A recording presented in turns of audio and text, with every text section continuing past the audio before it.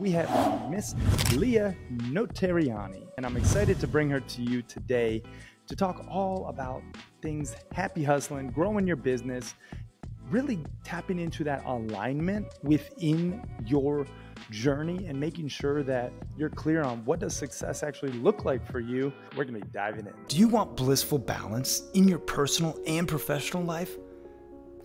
What's up, guys? My name is Cary Jack, and I want to help you happy hustle a life you love, one full of passion, purpose, and positive impact. I'm a lifestyle entrepreneur, a professional model slash actor, a digital marketing specialist, a podcast host, author, a biohacker, an eco warrior, a martial artist, a hippie cowboy, and a humanitarian. My goal is to educate, inspire, and entertain you to live a life of passion, purpose, and positive impact. It is time to happy hustle your dream reality. All right, Leah Notarianni, welcome to the Happy Hustle podcast, my friend. I am super excited to rock the mic with you. Oh, so good to hear be here, Cary. I appreciate you for having me. Yeah, of course. I um I gotta say, I'm I'm interested to dive down the rabbit hole into your work because we are very aligned, it seems, in terms of, you know, putting the happy in your hustle, will you? I mean, Totally. you are a transformational speaker, you're a business mentor, you've helped industry leaders transform their life and business from the inside out. You're also the co founder and CEO of Legacy and Leverage, where you support industry leaders to master the science of transformation and leverage and scale their expertise through live events, group programs, certifications, and much, much more to ultimately make a massive impact on this world. And I really am excited to get into all that stuff and much more. But before we do, Leah, I always like to ask what is something interesting about yourself that not too many people know? Oh my gosh, you're throwing me the curveballs, Cary. I know. Uh, what is something interesting?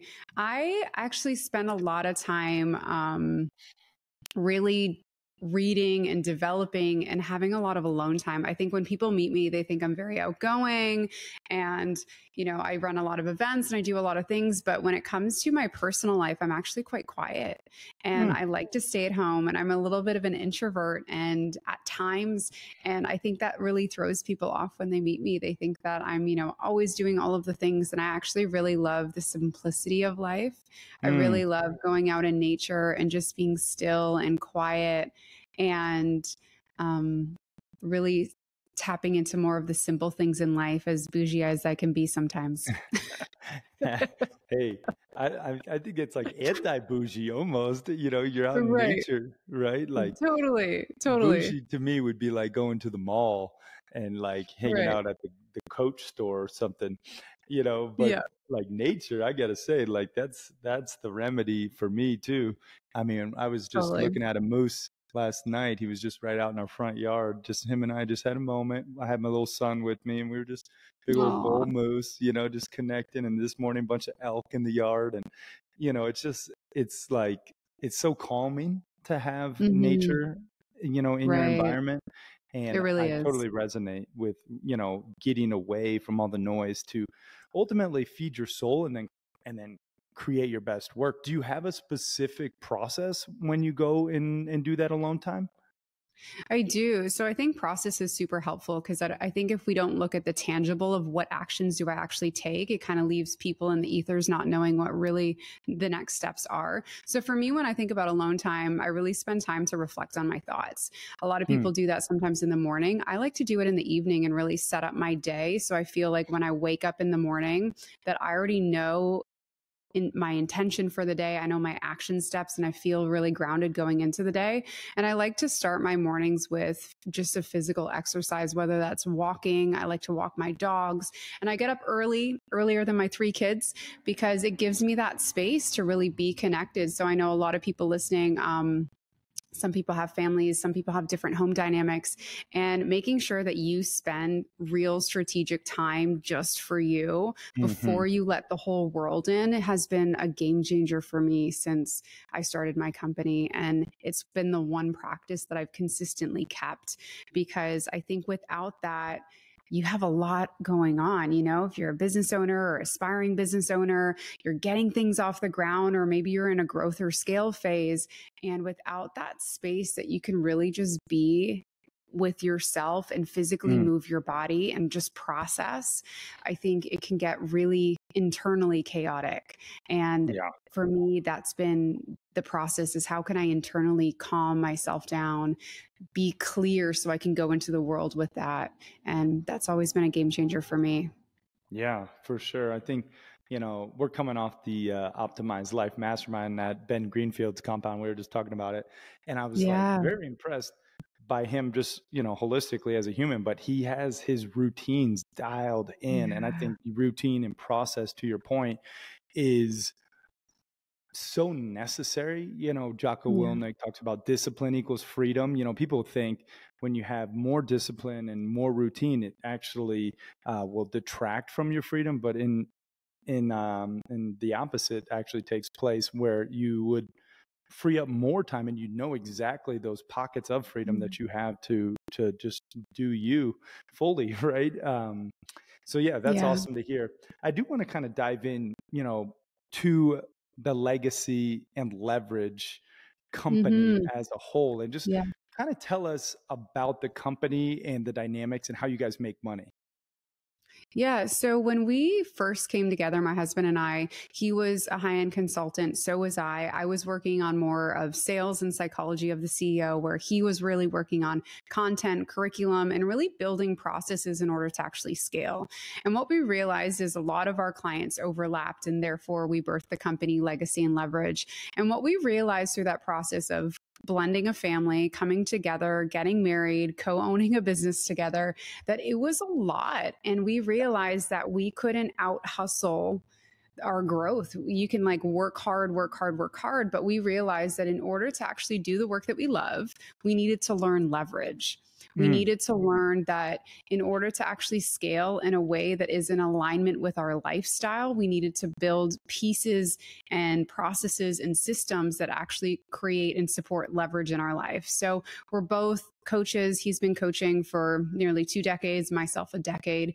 And you can only work with so many people in the world. However, yeah. your impact can be leveraged through books, it can be leveraged through programs, certifications, courses, um, and then how to actually facilitate a group in a way that allows the participant and the client to actually experience those accelerated results even more so than working with one on one.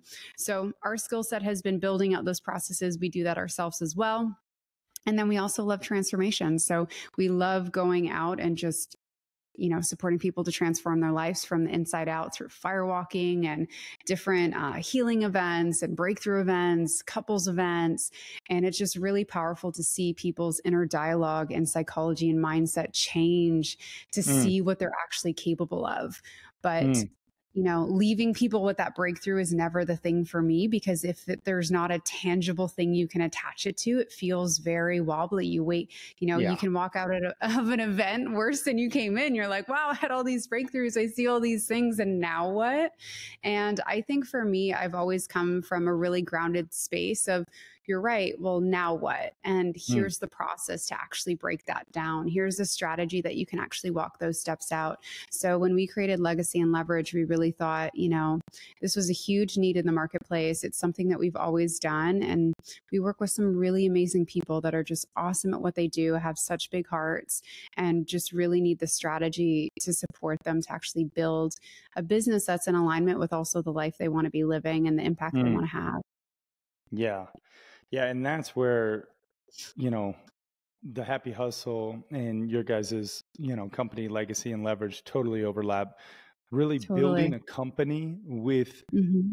the end in mind, like your dream lifestyle at the forefront. I think a lot of people they go about building a business and then ultimately they just become a cog in the wheel. They're shackled to mm-hmm. their business. They they own they honestly create a job for themselves, right. and um, you know that's okay initially, but eventually you're going to want to use systems and leverage to get yourself out of the grind so that you can you know expand your impact, but not necessarily your work hours, right?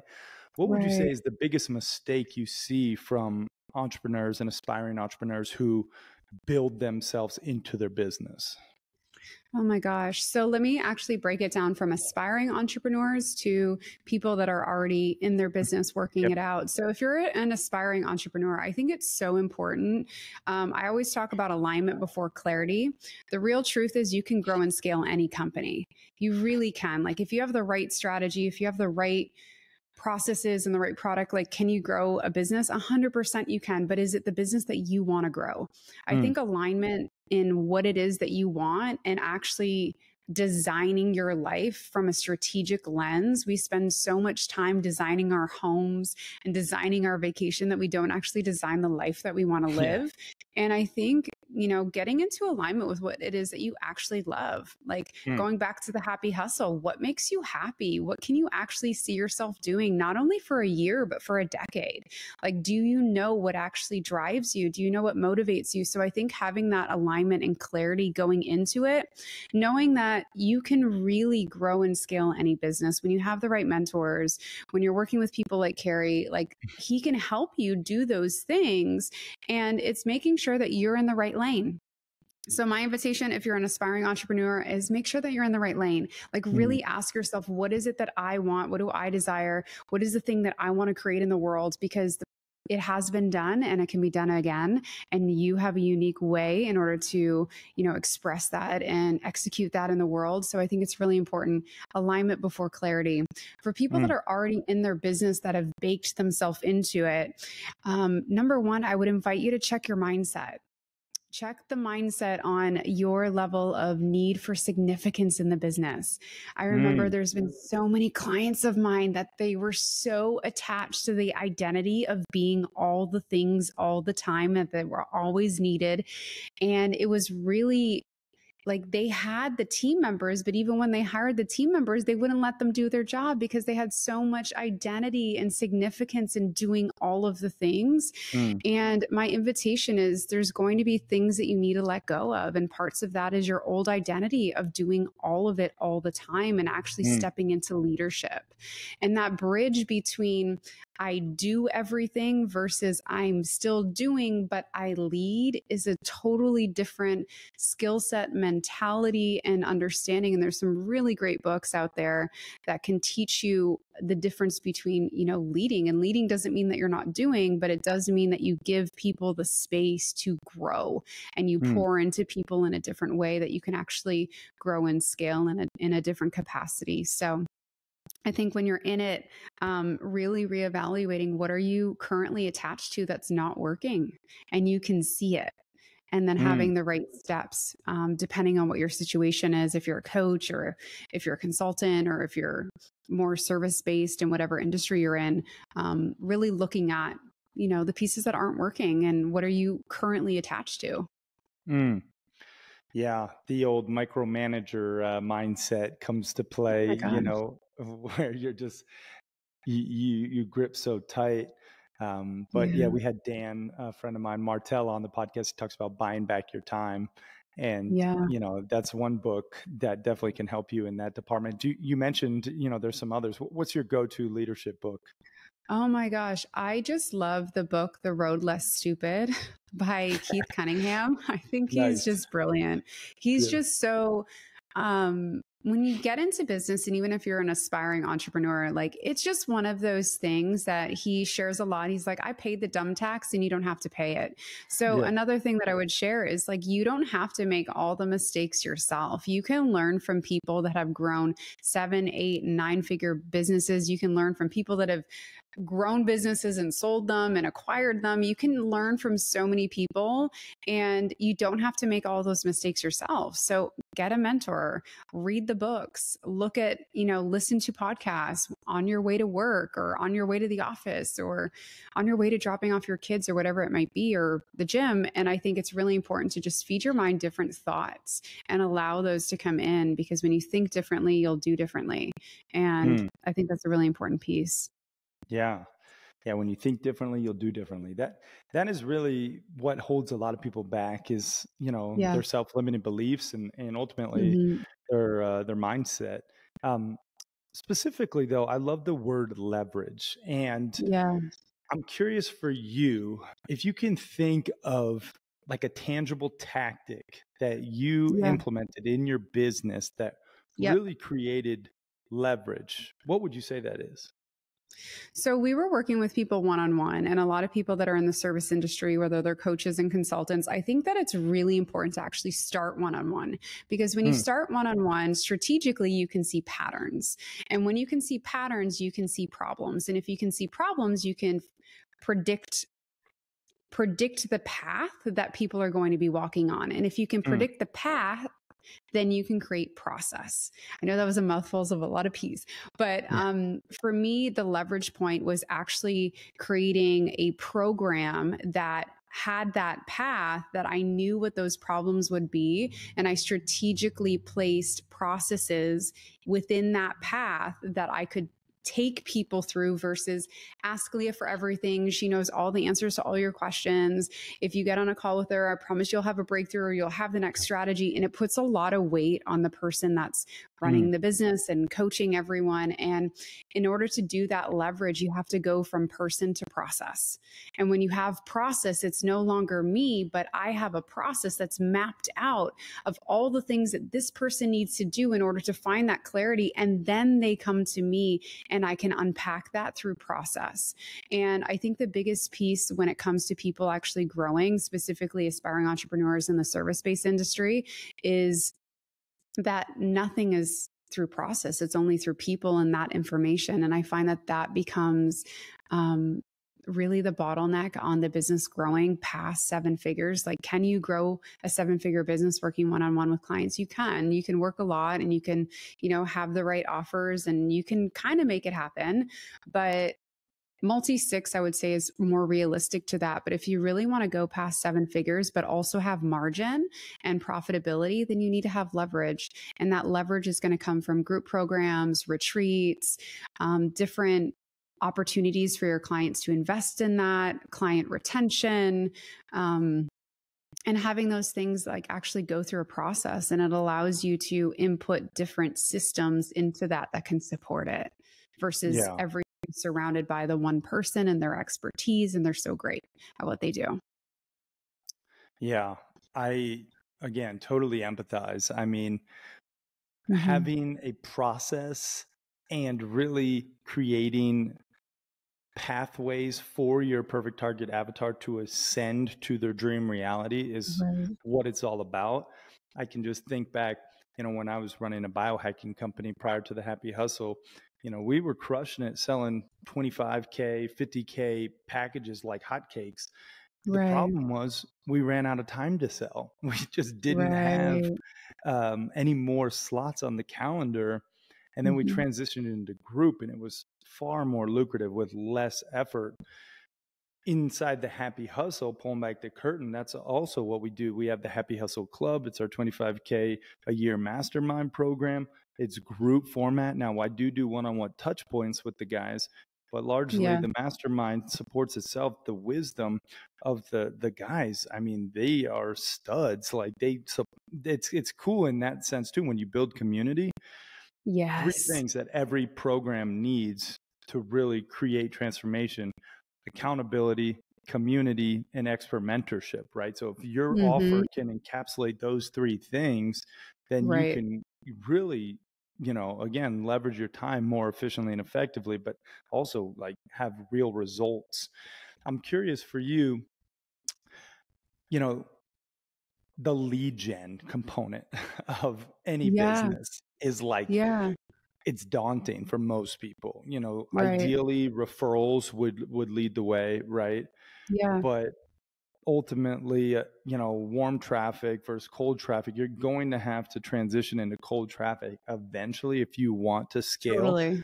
not saying Yeah. you have to scale right like I Mhm. think people get caught up with scale. They're like, I want more, more, more. And it's sometimes more is less. And you It just is. we call it Yeah. the more disease, you know, where you Yeah. just get infected by this like disease of constantly craving more. But I'm just Yeah. curious, speak to the lead gen component component. How do you drive traffic into the front end of your business and then ultimately convert them as clients? Yeah, so we've done everything. We have done cold traffic and we have had different lead gen and uh, just marketing tools from VSLs and funnels and all of the things. When we looked at those pieces in our business, I think we implemented them a little too soon.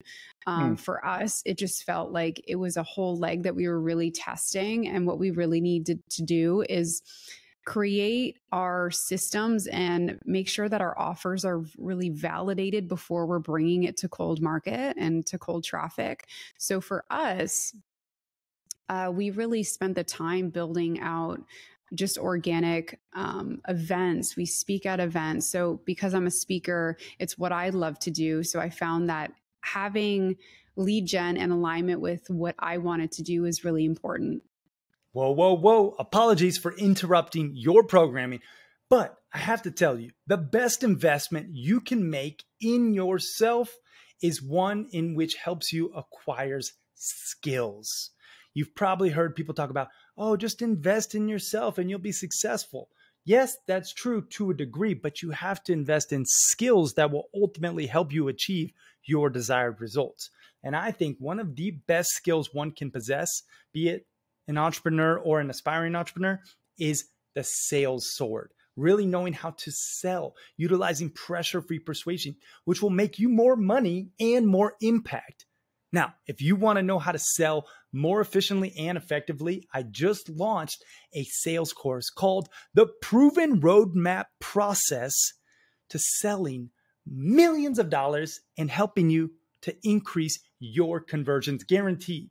And you can get access to this new sales course that the Happy Hustle is launching at thehappyhustle.com forward slash sales. And if you act fast, you'll get it at the lowest price it'll ever be available because we are launching it and we want to gain amazing testimonials and social proof to further share this knowledge. So if you act fast, you can get it at the lowest price it'll ever be. That's at thehappyhustle.com forward slash sales.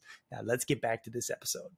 So, when it comes to lead gen, I think it's really important to start with organic so you can actually validate your offer and validate your audience and see who's your fans on the internet versus your actual clients. I think mm. one hmm. of the biggest mistakes that I did at the beginning when I was really just starting out is I thought that building an audience meant that I was actually growing my business. And it's two different things.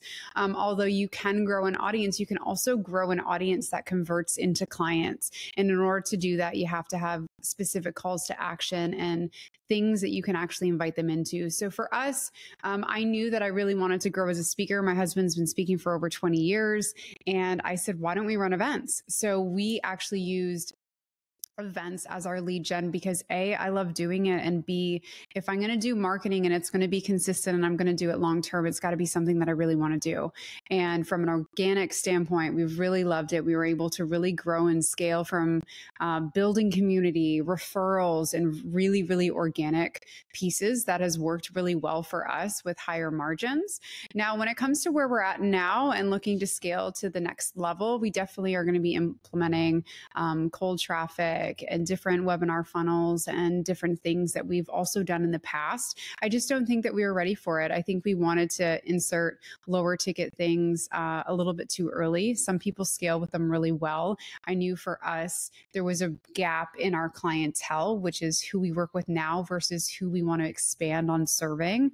And I think it's really important to look at your business from a strategic space of what's actually working. How can you create attribution to the things that are working? So I knew that anytime I went live and I did a live training or I went live and I was speaking at an event, we always generated revenue and had new clients come in the door. So if you can create healthy attribution, even if it's organic, I think it's going to give mm. you your lane of what's actually converting, whether it's organic or paid. I think it's really important. And don't guess test. Test test your yeah. marketing organically. It's such a powerful tool. Get your message out into the world. I think people wait for cold traffic to solve all their problems. And the truth of it is, the person that you become and how comfortable you are with the refinement of your message comes organically. You get to play with that and execute on that every single day. And people get to know, like, and trust you and build relationship with you and hopefully, you know, end up working with you. And some people will just sit on the sidelines, think you're awesome, and that's cool too.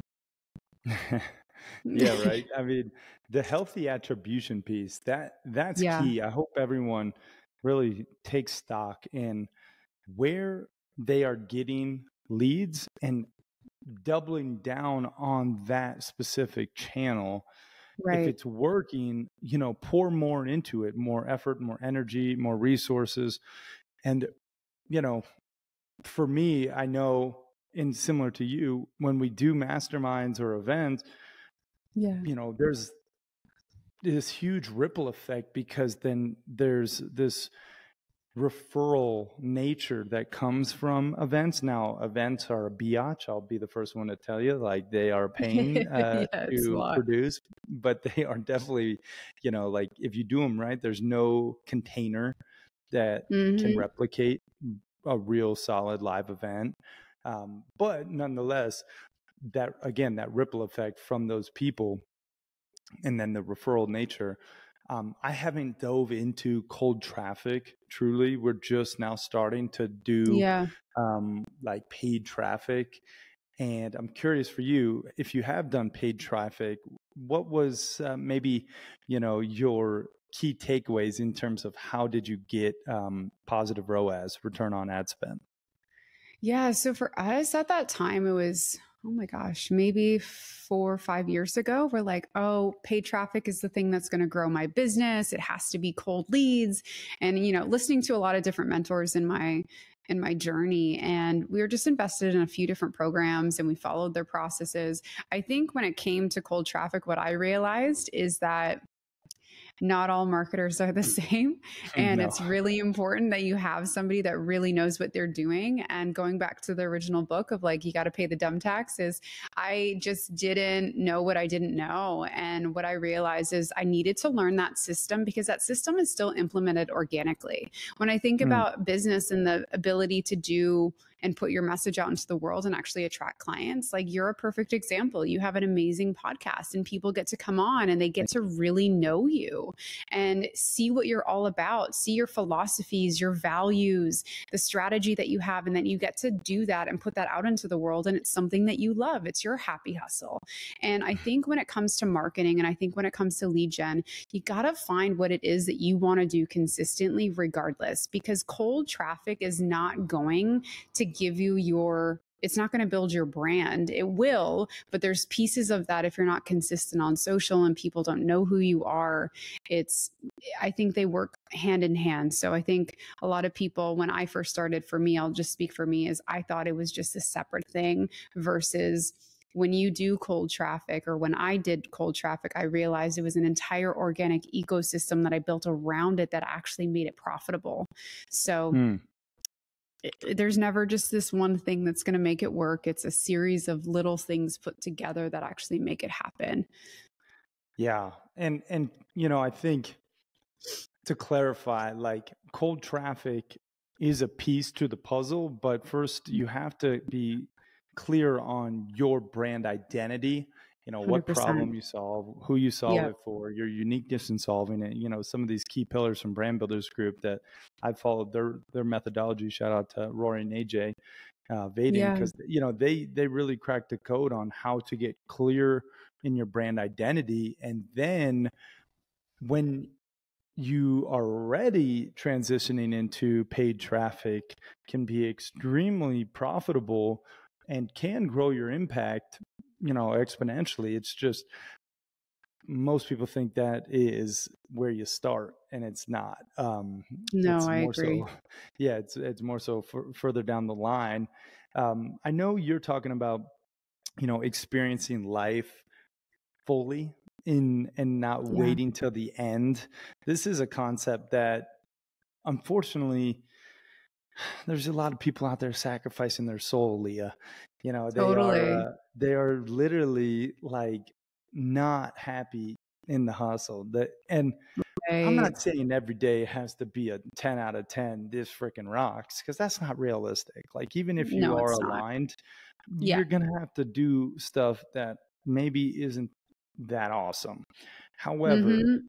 the amount of people I see out there, specifically, like I think of you know some of my my high school and college friends, that I'm like, damn, I I feel bad for them. And and it's Yeah. not like in a place of oh like my life's better than your life at all. It's just I see their sadness because they're they're they're chained to this machine and this um you know quote unquote job security that gives them benefits are sometimes golden handcuffs but they really do not seem fulfilled and the ones i talk to that i st- still keep in contact with i know are not fulfilled.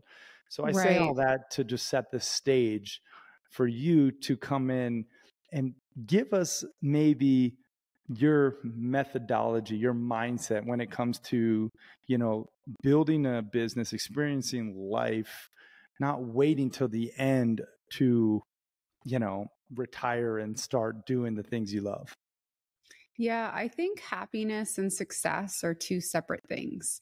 And you can be wildly successful and completely unhappy. And you can also be over the moon in so much joy and bliss and not have success. Mm, And I knew for me starting out my journey that both of those were not what I wanted.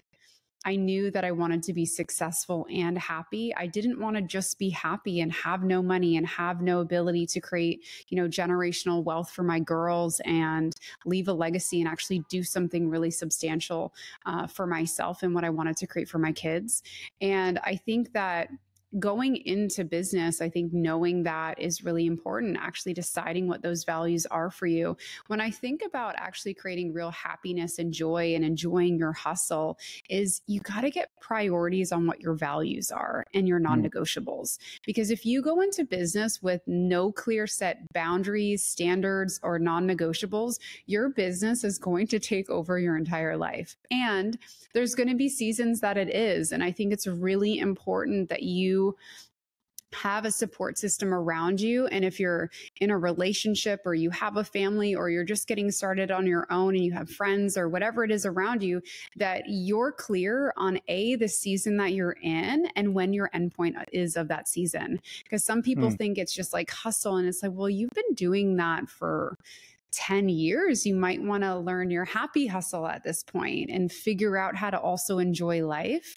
And I think when you're going through something like that, I think it's really important that you decide what those values are, what those non negotiables and what those priorities are, because there are going to be seasons that your business is going to take more out of you. But if you have communication and the right support system around you, that season also has an endpoint. It's not summer all year round. There's summer, there's winter, there's fall, and those seasons change. So I think it's really important to take a step back and realize you're not missing out. You're right on time and you get to really be present and enjoy the moment while you grow your impact and your success and your business. But don't do it at the expense of the things that matter the most because that's why you Mm. started. yeah amen girl preach it i mean Yes. I talk about seasons in my book, uh, The Happy Hustle, and yeah, there, there's hustle seasons, yes. Totally. But but if you are constantly in the grind, that's oh, yeah. unsustainable. and It's a recipe for burnout.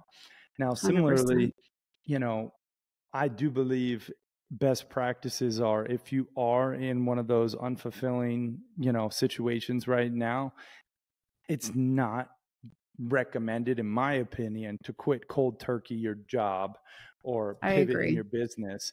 I do think that you should create the side hustle, you know, build it Mhm. up in your off hours and then transition when that you know that income is at a point of you know at least Sustainability. sustainability right or Yeah. or at least where you're not going to be desperate and and you know um Make bad I just- choices, right? yeah make the bad choices you take the wrong Yeah. clients for me you know that person who's so needy for their side hustle to succeed it's unattractive i call it commission breath you know you, most of those type of people have it and it's like they need to sell rather than really coming from a place of service and building a relationship and adding value so i do think Yeah. if you're out there listening and maybe you are feeling a little unfulfilled get clarity on you know that alignment i always think it's important to define what success actually looks like for you you know like Mhm. everyone's version is different so get clarity on that and then you can reverse engineer the business to get you there for me Mhm. and a lot of the happy hustlers, it's the three freedoms that I crave, and it's creative freedom, financial freedom, and um, time freedom. You know, having right. those three freedoms, that's you know largely what success is all about. And unless you are clearly defining, you know, what it looks like for you, then you're just gonna succumb to society's definition and that's what a lot right. of people do you know they climb the corporate ladder and they get to mm-hmm. the place where they got the white picket fence and the kids and yes. thing and then they're like this sucks i need to pivot you know i'm not happy so anyway yeah. i say all that to say if you're out there you know there is a way to put the happy in your hustle. Leah and i are talking about it. We're living it. And uh, you know check out her stuff if you want to know more. Where can people go to learn more about what you're up to and uh, maybe follow your journey online? Yeah they can go to my website at leahnotarianni.com and just find me on any social platform. Awesome. Yeah, we'll link that up in the show notes. And, you know, I do want to ask you some of the traditional happy hustle hack questions. So uh, yeah. these are like a tip, a tool, a tactic in a specific vertical, um, but they should be uniquely Leah. So let's talk about health first and foremost, because you know, without your health, like nothing else matters, right? We're talking Correct. about being happy and all this stuff, but like if you are not healthy, like nothing else truly matters. Um, mm-hmm. what is something uniquely Leah that you do that maybe we could deem a happy hustle hack? So, when I think about health, I think about health uh, mentally, spiritually, and physically. So, health for me is not just a one vertical of you can go to the gym all day long, you can go and you can work out consistently for an hour every day, five days a week, lift the weights, be in your best shape. But if you're not mentally well and if you're not spiritually well for me that's not real wellness and health. So when i think about health i think about taking care of your body no matter what. What you feed your body is what your body is going to be. And for me i've lived a really holistic lifestyle. Um, i spend times uh, several times a year sometimes doing detoxification just making sure that my body's on point. I do a lot of biohacking with like red light therapies and different supplements. And i think really fueling if you want to be a ferrari then you need need to fuel it like a Ferrari. You're not, you know, you're not your everyday car. And I think if you're going to be a high performer, then you need to treat your body like that and your mm. mind. So making sure that you have space mentally that you can actually process through your journal, through therapy, through coaching, through all of the different methodologies that you can have. And then spiritually, for me, I like to spend what I like to call God time, whatever anyone's beliefs are is just having space that I can literally just feel connected to something greater than myself. And mm. within my body, taking time to exercise and move my body, make sure that I'm not stagnant and have fun with it. It doesn't always have to be a hard workout. You can now go for a hike with friends. You can go out in the woods and, you know, enjoy yourself. I think just movement in general is just medicine. Mm. Preach it. So true. And yeah, I mean, I know biohacking is kind of like a a fad word that uh, sometimes you know people overuse, but how I see it is like ancient wisdom, ancient 100%. wisdom mixed with um, you know yeah. modern strategies to ultimately totally. optimize your well being and again, you know, detoxing, you know, from red light therapy to cold plunges to all the things like you got to treat your body you know, like the temple that it is, like the Ferrari yeah. that it is, right? And put premium gas in there, right? Food as thy medicine. And you mentioned the spiritual um, kind of happy hustle hack. I typically ask about it, but um, yeah. um, since you somewhat answered it, let's talk about maybe a relationship happy hustle hack, something that you do. I know it's not easy to work with your significant other. I've, I've uh, right. uh, attempted it and uh, it it was very difficult. We had to decide: do we want to stay in our relationship or in our business together? Uh, yes. So we obviously stayed married um, and uh, continued that path. Uh, however, I'm curious in your you know experience, do you have something that yeah. you do for your relationship as a happy hustle hack? Oh my gosh, there's so many things. I think for those that are listening that either aspire to, you know, co-create a company with their partner or not. One of the things that we did when we first started is my husband said to me said, if there ever becomes a point that the business becomes too much, I choose our relationship first. Mm. He vocalized that and foresaw that potential problem happening far beyond I did because I mm. didn't see that. I was like, what do you mean? We work together so well and everything overlaps. And there was moments in that time that, you know, as much community communication and problems arise and then you're you can't decide whether this is a business problem or a relationship problem. Is this a marriage problem? Is this our family? Like you can't separate all of those things. So one of the things that we've done in our relationship is really create lanes. There's a lot of my life that's really integrated but there's you know leah who's a speaker is the same person but different energy that's coming out when I'm speaking on stage that I'm with my kids, although I'm the same person.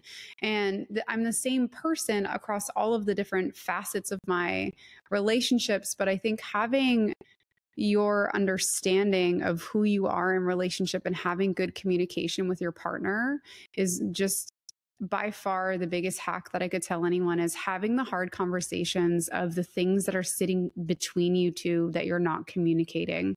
It's the hard conversations about business, about growth, about upsets, about the things that are not working, the things that are working really well. And I think having a process or commitment that you guys do that on a consistent basis really supports versus having the volcano erupt and it's everything and all the problems are all there. So I think you empty the bucket a little bit all the time and then it doesn't become this really big thing. And not mm. to say that those big things won't arise, but I think communication is such a powerful tool. Oh yeah, for sure. I mean, having lanes, clear lanes, and, and autonomy in your different yeah. lanes is is oh so gosh. pivotal. That was definitely a lesson that I learned. Um, but yeah, over communicating so the resentment doesn't build up. You know, we yeah. do like Sunday bear talks, Are you know Sunday kind of okay, which I start doing, stop doing, keep doing, so then we can iterate yes. and evolve accordingly, right? Yes. Um, however, definitely you know far from perfect, but I just think having that as a, a staple is is pivotal let's talk about money. I, I do think, you know, money is a tool. It's a it's a frequency, right? It's a it makes you more who you truly are. But yeah. um, it's important, right? Like it's so know, important in order to have the lifestyle that you dream about. Money has to be a part of the equation. Let's hear something that you do to maybe save, invest, or spend wisely, or maybe even to make more money that we could deem a happy hustle hack in this arena.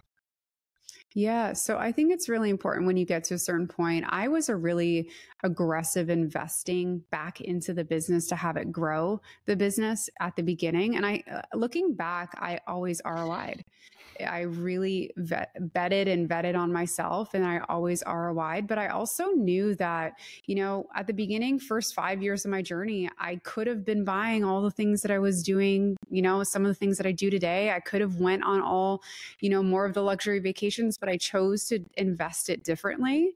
So I think it's really important to enjoy your life, but I also think it's important to prioritize what it is and how you value and where you want to go. Like what you hmm. said before, Cary, is everyone defines success differently. What my level of success was is different than the next person. And I defined that early on. So I knew that I didn't need to go and buy all of these external things because I wanted to build a business that could run like a machine. And in order to do that, I needed to invest in it. And I don't feel like any of those things were a sacrifice because I really built my business in alignment with how I wanted to live. And if I want to do retreats in certain places, then I can, you know, get paid to go to those places and you can, you can really craft whatever it is that you want. So now I feel like it's really important where I'm at now is like having savings, looking at investments for my kids outside of just investing in the business. And I think that's really important. And I'm at a stage now that I'm really looking for really you know powerful insights on investing in real estate and different diversification of those investments beyond my business but honestly i think my personal experience growing to seven and multi seven figures that reinvestment into my business was the best decision that i made i always mm. had a savings i always had it that i'm not like you know running on fumes i never liked that energy um, and it's just not healthy for me so i always had cushion. And I think it's really healthy to do that. But I also think it's really healthy to invest in the things that you don't know that you don't know, because what you don't know that you don't know can hurt you. And yeah. learning from people that know what you don't know and really implementing and growing can really be a catalyst in your success and your happiness and what you're creating in the world. Yeah, so well said. I mean, I like the phrase bedded and vetted on myself. I might have to do a podcast on that. Uh, I'll give you credit. Don't worry. But yeah, having, you know, uh, strategies to invest your hard earned income so that yeah. your money makes more money and then finding those gaps in like hey i don't know this i need to find someone who does um, mm-hmm. um, one of the guys i should actually connect you with one of my my bros is garrett gunderson and he's you know wrote uh, a couple new york times bestselling books killing sacred cows one of them reason he's talking about. I have a call with him right after this, but I'll, i should connect you with him because he has yeah. helped me with so many of these innovative strategies to mm. not only mm. save on taxes ethically, right. but also grow. Yes. You know, so yeah. it's like, yeah, it's so important. Um, this has been phenomenal. I do want to put you through the rapid fire round, and then we'll wrap this interview up. So, real quick, this is just you know random questions, and uh, you answer honestly. First thing that comes to mind. Are you ready? Yes. Okay. Favorite food? Go. Uh, stir fry. Favorite movie? Top Gun. Favorite book? Untethered Soul. Oh, I actually I've I've uh, studied with Mickey Singer personally, and my brother was his personal mentee for years. He's a stud. Amazing. Um, yeah. Amazing guy. Uh, yeah, really is. Um, what's your spirit animal? Ooh, Panther. Hmm. I see it. Best business advice. Surround yourself with a powerful community. Hmm. Relationships and community are such a powerful thing in your life and business that can open up doors for you that you didn't even think were possible. Three things you're most grateful for today. Hmm. My health, my family, and the work that I do in the world. Love it.